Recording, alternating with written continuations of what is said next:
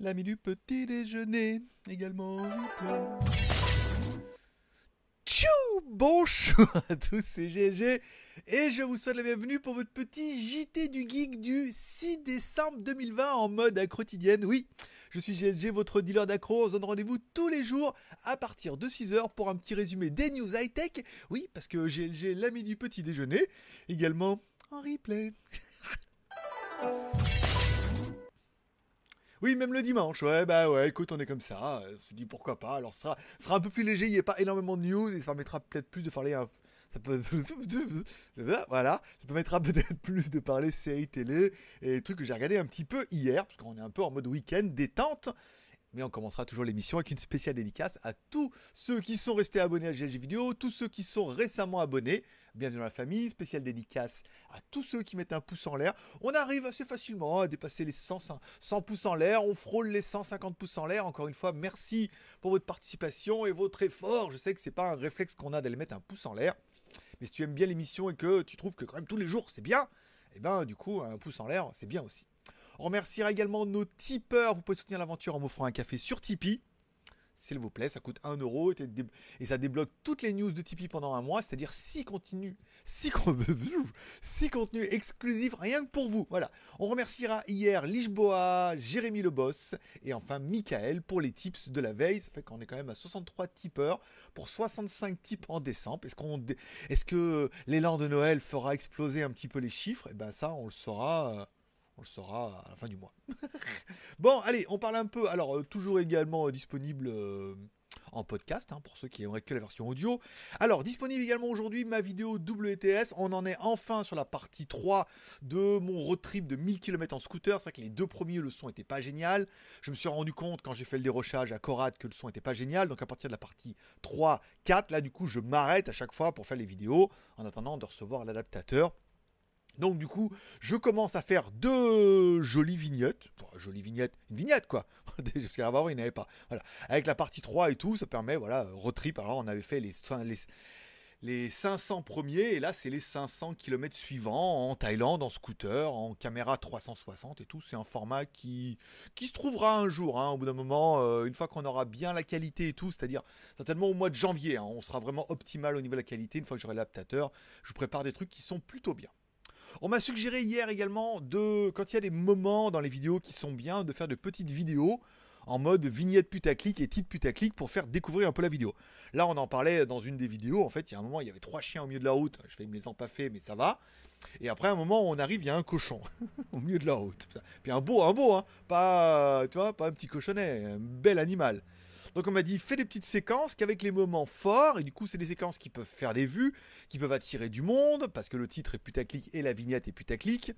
Et donc du coup ça pourrait après elle dire ah bah tiens c'est sympa ces vidéos, et regarder après la vidéo entière. Bon, on a mis du coup celle-là hier. Alors moi je suis allé un peu fort avec le Godzilla, mais bon.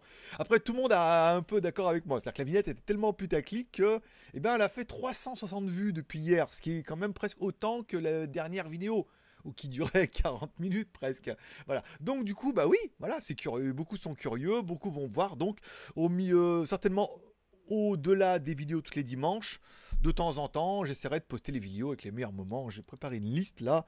Il y avait, alors attention, la traversée de cochon, Casanova versus Hulk, on avait bien eu. J'ai fait me faire attaquer par trois chiens, les hôtels, euh, maison hôtel abandonné, la maison de Hobbit, euh, le sneakers blanc. dans le 7-Eleven. Voilà, pas mal de choses que vous avez peut-être déjà vues sur Tipeee si vous êtes tipeur parce que vous avez une semaine d'avance. Mais voilà, des petites séquences qui sont sympathiques et eh ben, on n'est pas à l'abri qu'il y ait une des vidéos qui déclenche comme ça et qui fasse what 1000 vues et qui puisse euh, bah, faire la différence. On a vu des gens faire plus de vues avec des vidéos moins bien. N'est-ce pas? Voilà. Bon, allez, on parlera de la première news. Euh. Alors, Lockmat, c'est une marque de smartphone, de smartwatch chinoise dont je vous ai déjà parlé je vous ai dit franchement il a marque un gros gros potentiel puisqu'ils essayent pas mal d'innover. Ils copient bien évidemment mais ils essaient d'innover, de sortir des trucs. Et on parlera de la Lockmat Queen. We are the champ. Non, pas celle-là. Euh, Lockmat Queen, une montre destinée aux femmes. Alors avec un design qui est très girly, hein, on va pas, se mentir et tout. Elle est très jolie cette montre, un peu incurvée, ça fait un peu Men in Black. Mais elle est incurvée et elle est vraiment destinée pour les femmes avec un design beaucoup plus fin, un design beaucoup plus élégant, avec bon bah évidemment le mode sport, le rappel, les notifications, euh, la lumière, fine, un mode spécial pour les femmes pour la menstruation et tout. Ce qui est bien pour les hommes, hein, parce que vous dire, mais quel est l'intérêt pour un homme d'avoir la menstruation sur sa montre? C'est pour savoir quand votre femme les aura. ah ouais, bah ouais, je sais, ouais. Ah ouais, du coup, ça prend tout son sens. Comme ça, tu te prépares. je, ne, je ne continuerai pas cette blague. bon, bon, du coup, euh, qu'est-ce que je veux dire? Voilà, une montre qui est plutôt jolie, qui est pas excessivement chère, et enfin, bah, ça fait plaisir de voir des fabricants qui font des trucs dédiés, soit pour les petits poignets, soit pour les femmes, soit pourquoi pas. On parlera évidemment du Huawei Nova 8 et Nova 8 Plus qui commencent à être un petit peu divulgués pour, la sortie. Alors, bien évidemment, on n'aura pas de, Kirin, hein, Kirin, Kirin. On aura plutôt des SOC, euh, bon, on pense sur un Dimensity, bien évidemment, de chez Mediatek. Bon, le téléphone, il est quand même plutôt classique. Ils sont pas excessivement chers. Hein. Enfin, si, ils sont quand même plutôt chers. Je veux dire, ils sont pas excessivement bien donnés. Euh, le Nova 8 coûtera environ 3000 yuan, soit 450 dollars, et le 8 Plus pourrait coûter 4000 yuan. Bon, le problème, c'est que maintenant, entre 400 et 500 balles, il y a quand même beaucoup, beaucoup, beaucoup, beaucoup de choix, quoi. Alors après, de là à vouloir craquer absolument pour un Nova 8 ou Nova 8 Plus, Nova serait déjà arrivé dans les Avengers, les nouveaux. On pourrait se dire, oui, il y a une espèce de corrélation pour une édition Nova. Voilà, mais déjà, si je suis pas Avenger et que du coup, Huawei, tu te dis, bah non, bah non, alors voilà. Bon, on attendra de le voir arriver, mais ça fait quand même beaucoup de téléphones. On finira dans la news tech de la journée par notre récurrent joke, puisque notre Oppo Reno 5 Pro Plus 5G, Nom de Dieu, il a tout fait d'un coup. Aura donc une caméra avec euh, une, lentille électrochromique. Alors, euh, la news le dit bien, en fait, c'est que euh, la première fois qu'on avait vu cette technologie-là, c'était sur un prototype euh, caméra arrière. On dit qu'il s'agit du premier smartphone produit en série à être équipé d'une caméra électrochrome. Cela rappelle le téléphone, One, euh, le téléphone OnePlus Concept One avec la technologie électrochromique qui a été annoncée en mois de janvier. Alors en fait, c'était OnePlus qui avait fait un premier concept avec cette technologie-là, mais comme OnePlus fait fabriquer ses euh, téléphones par euh, le même groupe que Oppo Vivo, on comprend qu'ils ont la technologie. Ça pourrait être le premier téléphone à avoir cette technologie-là. Alors je ne sais même pas ce que c'est, je ne saurais même pas vous expliquer. S'il y en a un en commentaire qui est plus connu c'est pas la peine. Si vous savez pas, ne m'expliquez pas. Hein. C'est pas la peine. Si, mais par si vous savez, vous pouvez mettre un commentaire en disant voilà pourquoi cette technologie électrochrome pourrait être pas mal mieux que la luminance, chrominance qu'on avait vu sur notre caméra IP.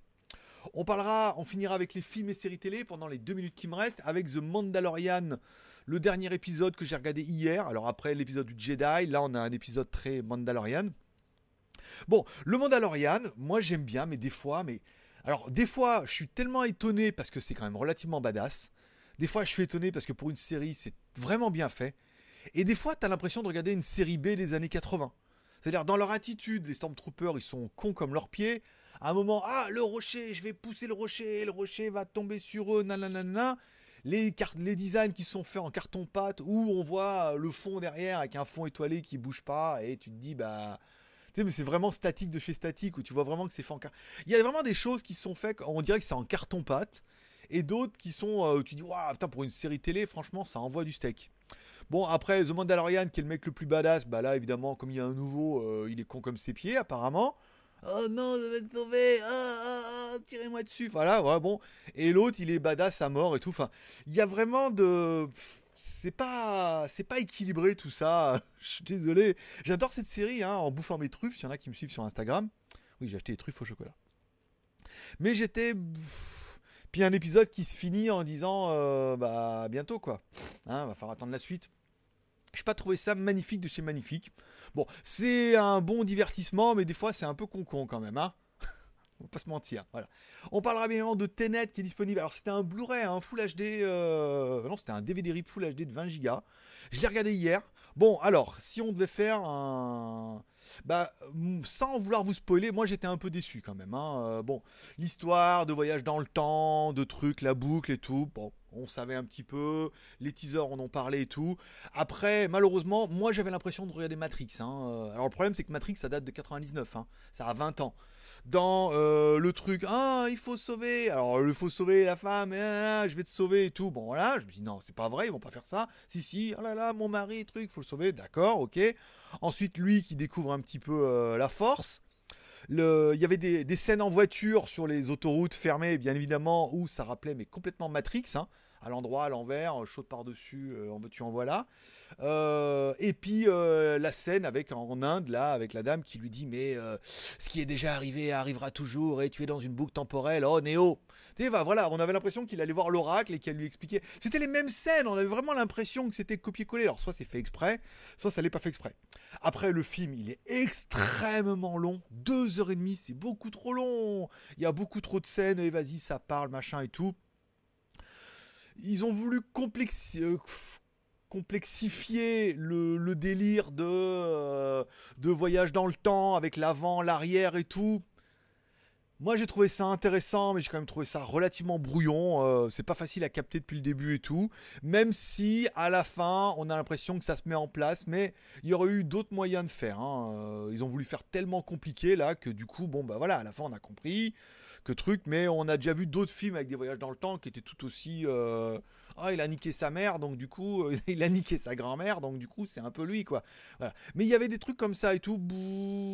Il y avait des choses intéressantes, mais j'ai trouvé ça très très long, très très. Euh, très très brouillon à vouloir absolument en mettre plein la vue avec leurs images à l'envers et tout que euh, ça m'a un peu perdu et bon j'ai pas trouvé ça génial génial hein, et je pense qu'apparemment je suis pas le seul voilà c'est tout tout ce que j'ai regardé hier. Voilà. C'est tout pour aujourd'hui. Je vous remercie de passer me voir. Ça m'a fait plaisir. J'aurais duré un peu plus de 10 minutes, mais en même temps, c'est dimanche c'est dimanche, on a le droit. Je vous remercie de passer me voir, encore une fois, je vous remercie d'avoir mis un pouce en l'air pour ceux qui l'auront fait. Si vous avez financièrement, vous le faire, un petit Tipeee, un petit café, ça coûte 1 euro par mois et ça fera mon plaisir. Moi je vous donne rendez-vous demain, même heure, même endroit, à partir de 6h.